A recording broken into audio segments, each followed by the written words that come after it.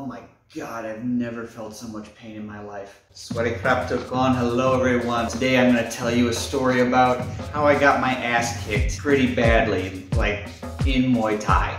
This goes a long way back to when I was 25 years old, starting out at Mahidol University. First time I started doing Muay Thai and Krabi Krabong.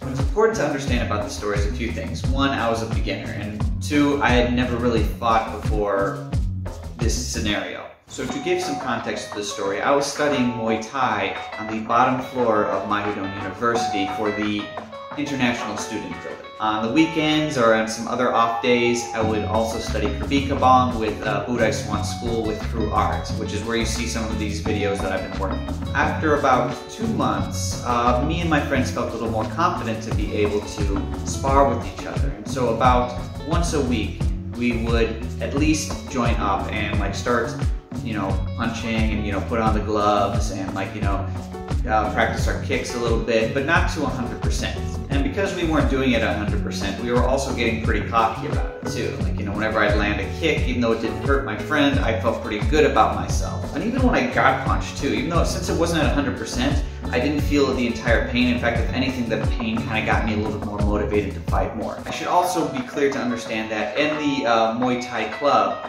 even though there was plenty of gentlemen there, there was a lot of, for some reason, a lot of beautiful Thai women who were also practicing. I think more for self-defense, but at the same time, there were plenty of plenty of these gorgeous women. So when we'd spar against each other, we'd feel a little bit more like, you know, hey, look at me. So a new guy comes in and he actually starts training with us and he starts sparring a little bit with us. And he actually is much heavier, much bigger, in a good way. He's like a bodybuilder. As usual, me and my friends start sparring a little bit. We're doing, like say, only doing it about 50% and this gentleman wants to join in. We have no problem with that because you know more people to spar with, the more experience you get all around. Me and him start, we, me and him face off, and we start like you know swerving around, getting a little bit of a few jabs in, you know, just to, trying to get warm, a little warmed up.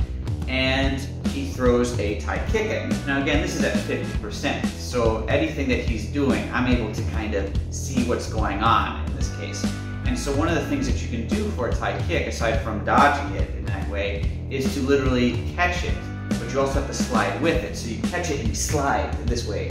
And that leaves him to either fall down or you can jab him in the face. There's a lot of things you can do with this one. Or like, you know, it's a really good move to use. Anyway, at this point I had caught his kick, I had slid across the floor, he was going down, and I had a quick opportunity to pop him in the face. I got him right here in the nose too, so he must have felt it a little bit extra at that point. I felt pretty great about that. I've never actually caught a kick before. That's famous Muay Thai kick. I've never actually done that. I've always had to avoid it. There were a few things that I didn't quite grasp. One of them was I don't think I realized how hard I hit him in the face. Um, when I was going 50%, the nose area, this hurts whenever you get hit. It doesn't really matter what you say, small amount or a little bit, the nose hurts when you hit it. The next thing to understand is, is that I had just knocked this big guy down while hitting him in the face, while making him look stupid in, in terms of what he thought looked stupid in front of all these gorgeous women. And then the last thing to understand is that whole scenario, the fact that I was able to catch his kick, the fact that I was able to pop him in the face, the fact that we were doing so well, and the fact that throughout the last few weeks when we, I was sparring, I was actually doing pretty good. I thought at least. So, therefore, my confidence went a little too high. He gets back up, I uh, shake his hand, we're like, we're good, and he goes, yeah, yeah, yeah, yeah, we're fine, we're fine. And then we start sparring again. I didn't realize how angry I had made him, so when we started squaring off again, he threw the kick again. It is really important to understand this about Muay Thai kicks. A Muay Thai kick, when done right and well, is literally the equivalent of swinging a baseball bat into somebody. He went for the classic Muay Thai kick, and he did it perfectly well. His form was great.